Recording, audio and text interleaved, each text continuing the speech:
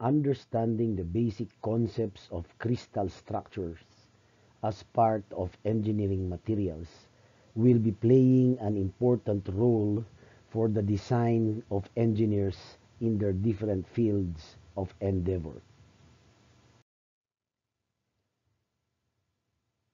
In crystallography, crystal structure is a description of the ordered arrangement of atoms, ions, or molecules in a crystalline material. Crystallography is the experimental science of determining the arrangement of atoms in crystalline solids. For this example, in this slide, you could see strontium titanate.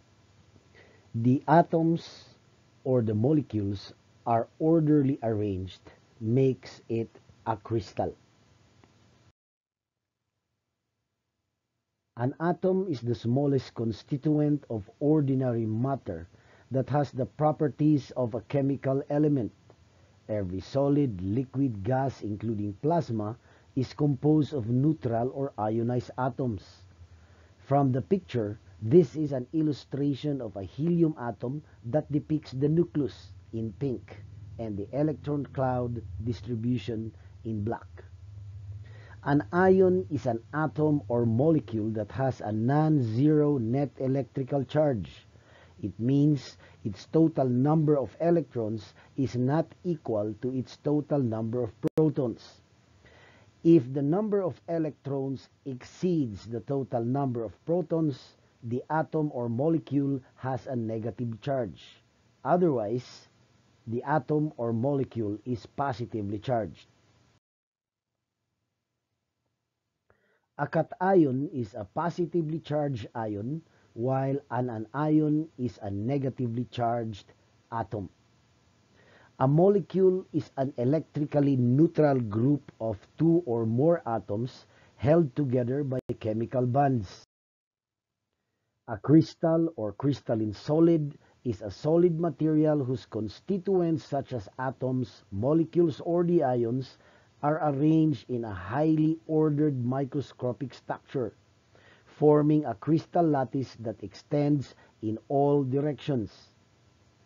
Ordered structures occur from the intrinsic nature of the constituent particles to form symmetric patterns that repeat along the principal directions of three-dimensional space in matter.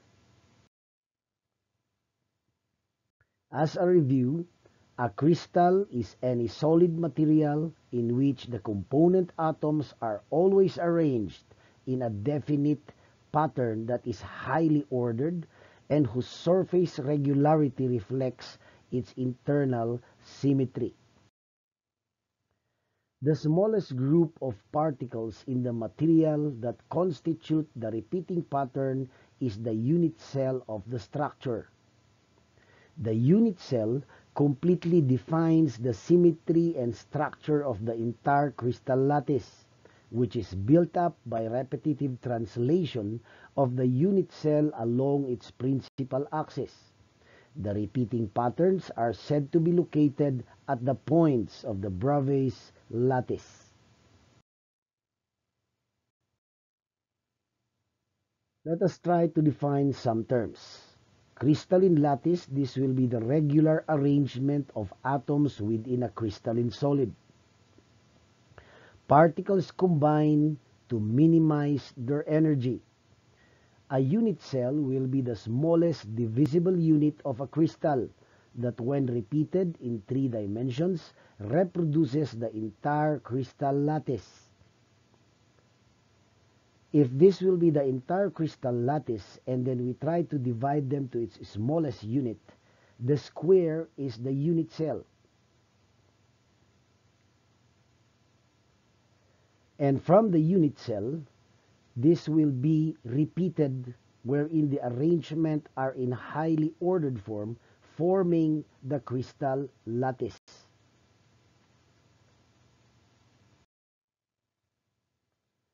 For the unit cells we look at, each atom in any one structure is identical to the other atoms in that structure. Different colors are meant to aid visualization. The coordination number is the number of atoms with each atom is in direct contact.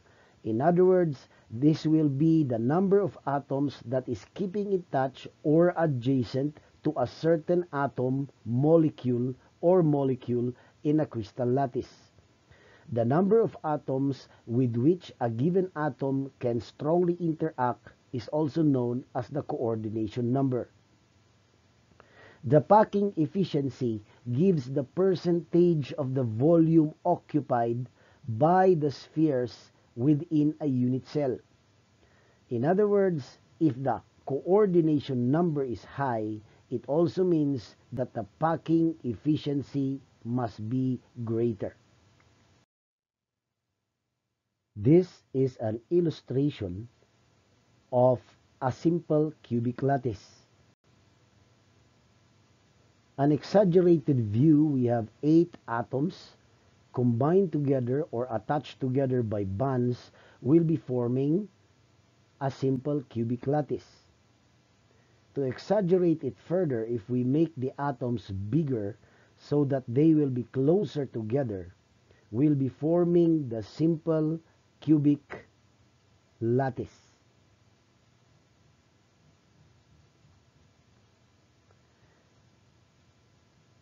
if the center of each of the spheres will be connected together and then we will consider the cube that will be made we'll be making the simple cubic lattice as shown in this video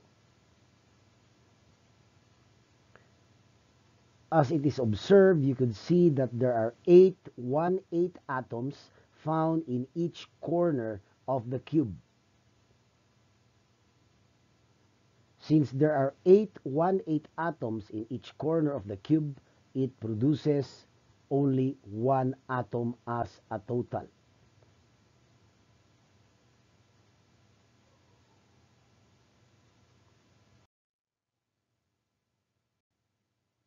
So let us consider the simple cubic lattice. The simple cubic unit cell has one atom at each corner the atom touch along each edge.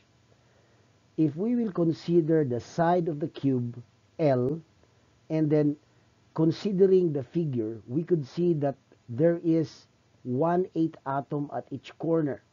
If there is 1 8 atom at each corner, we could see that L is equal to 2R.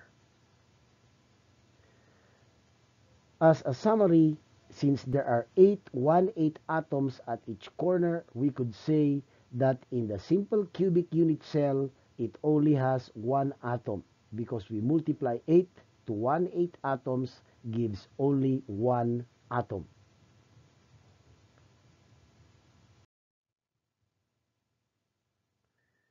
If we will consider one atom, and then count the number of atoms that is in direct contact with this particular atom that we had considered, we have 1, 2, 3, 4, 5, and 6.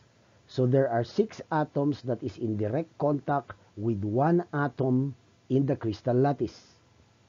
This number is the coordination number that is equivalent to 6 analyzing further, if we try to analyze it again and consider each side to be L and L is equal to 2R, we could see that there are 8 1-8 atom at each corner, making a total of 1 atom that occupies a simple cubic unit cell.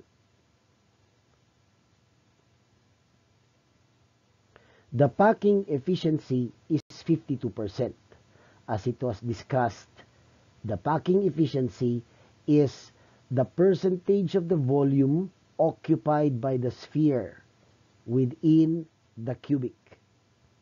How is 52% solved?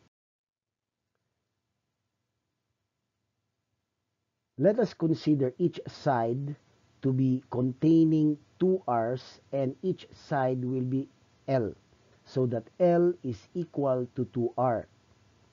The packing efficiency is the volume occupied by the atoms in the unit cell divided by the volume of the unit cell times 100%. To solve for the volume occupied by the atoms in the unit cell, 1 8 atom will be multiplied by the volume of a sphere. The volume of a sphere is 4 over 3 pi r cubed. We multiply 8 because there are 8 1 8 atoms in each corner of the cube. Divide it by the total volume of the cube. The total volume of the cube or the unit cell is L cube and we multiply it by 100%. Since we have learned that L is equal to 2R, we will write L as a function of R, making it the whole quantity 2R cube in the denominator. Simplifying this and computing it, we get here 52.36%. Rounding it off makes the packing efficiency 52%. The next unit cell will be the body-centered cubic lattice. The body-centered cubic lattice will be illustrated in this video wherein we could see that there is one whole atom in the center of the cube. In the center of the cube, there is one atom and in each corner we have one, two, three, four, five, six, seven, eight atoms. Exaggerating it further, wherein the atoms are stick together, there is still one whole atom in the center. If we connect the centers of the eight atoms found in the corner, we will now be considering the body-centered cubic lattice. There is one atom in the center and eight 1-8 atoms in each corner, making a total of two atoms found for every body-centered cubic lattice inside the cell.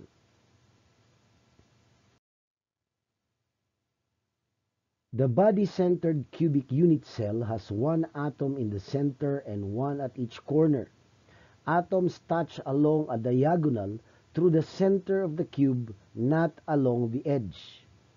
Looking at the cube, each side of the cube will be named L, and then each side or the face of the cube will be having a diagonal, and we call it B.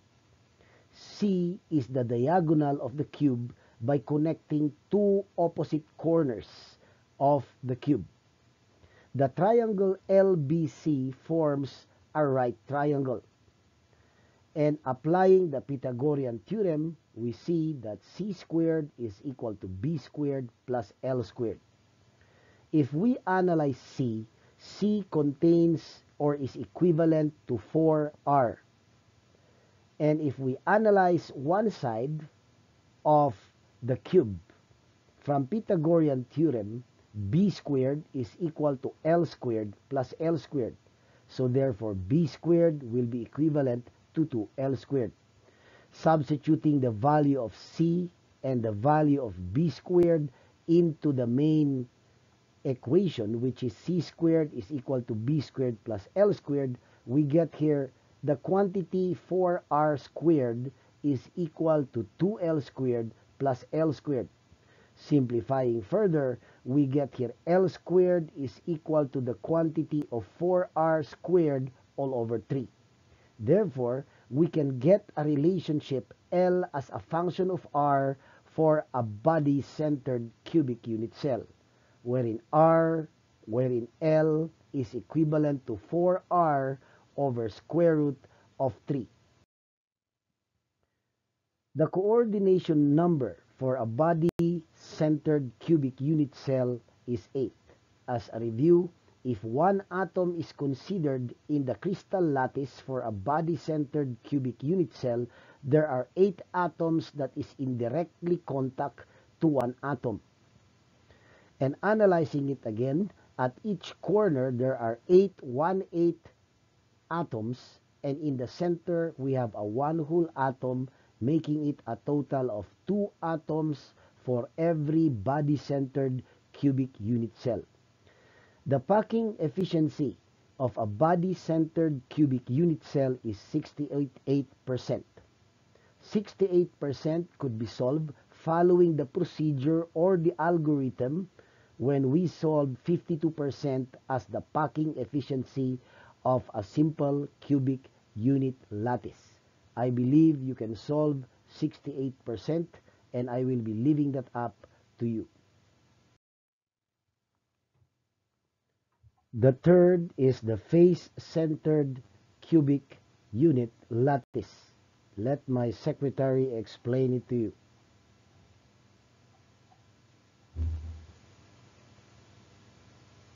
The face-centered cubic lattice contains the same eight vertex atoms as in the simple cubic and body-centered cubic lattices, but also contains six atoms located in the six faces of the cell.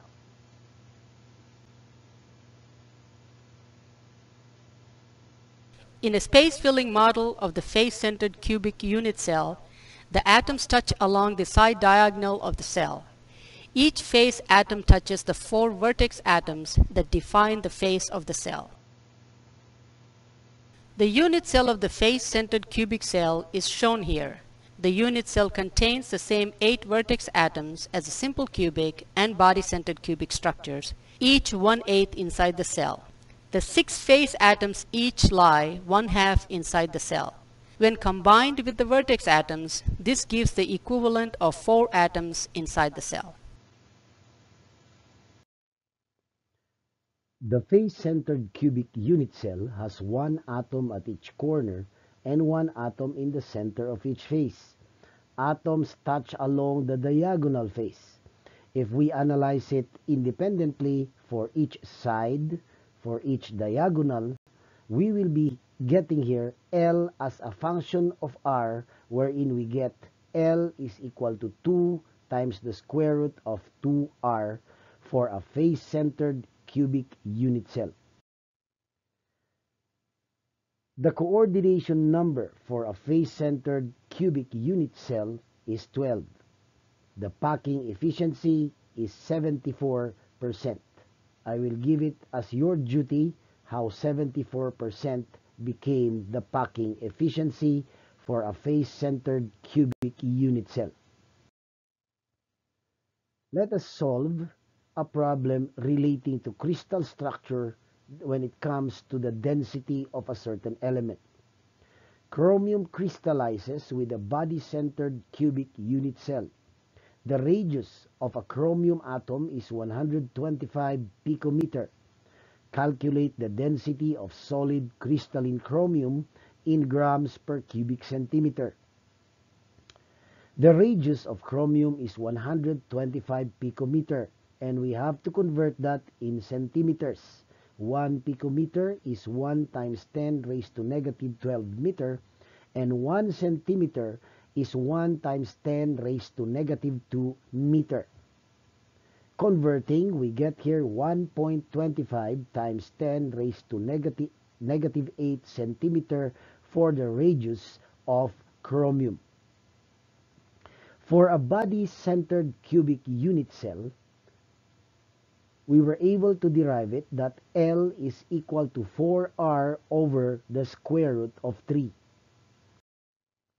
For the volume, the volume is equivalent to L cubed.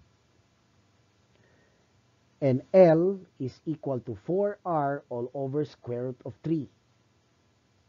If we substitute the radius equivalent to 1.25 times 10 raised to negative 8 of a centimeter we get the volume to be 2.4056 times 10 raised to negative 23 cubic centimeters. To solve for the mass, for a body-centered cubic unit cell, there are two atoms. So two atoms will be the basis. Since there are two atoms in the unit cell, and we know that one mole of chromium is equivalent to 6.023 times 10 raised to 23 atoms as defined by Avogadro. And from the periodic table, we know that 1 mole of chromium is 51.996 grams, or simply 52 grams. Now we can solve the mass. the mass is 1.72687 times 10 raised to negative 22 grams. For the density, we will represent that with the Greek alphabet rho. Rho is equivalent to m over v. m is the mass and v is the volume. We substitute now the solved mass and the solved volume. Substituting, we get 1.72687 times 10 raised to negative 22 grams divided by the volume which is 2.4056 times 10 raised to negative 23 cubic centimeter. From here, we now can solve the density of chromium which is 7.18 grams per cubic centimeter.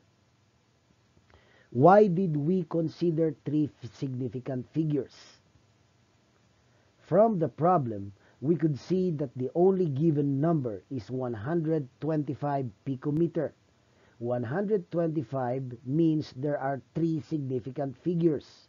Since it is given that 125 has three significant figures, it means our final answer must also be containing three significant figures. I introduce this to you to avoid students asking how many decimal places or whatsoever. So base your final answer from the number of significant figures given in the problem. Other types of structures will also be introduced here. We have the closest packed structures. Another way to envision crystal structures is to think of atoms stacking in layers. The simple cubic structure is one layer of atoms in a square pattern with the second layer aligned exactly on top of the atoms beneath. It has a lot of empty space.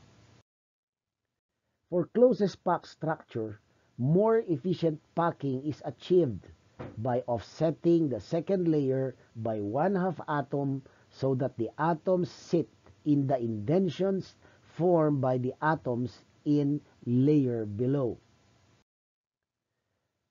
Another is the hexagonal closest packing. Third layer is aligned with the first layer. We have the AB-AB pattern. The coordination number is 12. Packing efficiency is 74% and unit cell is hexagonal. That is why it's hexagonal closest packing. For hexagonal closest packing, we have angles of 60 degrees and 120 degrees within the unit cell. Another is the cubic closest packing. The third layer is offset from the first layer. It follows the ABC ABC pattern. The coordination number is 12. Packing efficiency is 74%. It is quite identical to the face-centered cubic unit cell structure. What is packing fraction? It defines how dense or closely packed the atoms in a lattice area. The volume of an atom, we will consider it as a sphere. The volume is 4 over 3 pi times the cube of the radius. For atom A, we will be we will be using a subscript A. V sub A is equal to 4 over 3 pi r's of A cube. If we will consider an atom B, we use a subscript B. V sub B is equal to 4 over 3 pi times the cube of R sub B. The packing fraction is the volume occupied by the atoms divided by the volume of the cell. It is similar to the packing efficiency. But for the packing fraction, we do not have to multiply 100 to express it in percent. Instead, we express it as a decimal. The Bragg's law. When X-rays are scattered from a crystal lattice, peaks of scattered intensity are observed, which correspond to the following condition. The angle of incidence is equal to the angle of scattering. The path length difference is equal to an integer number of wavelengths.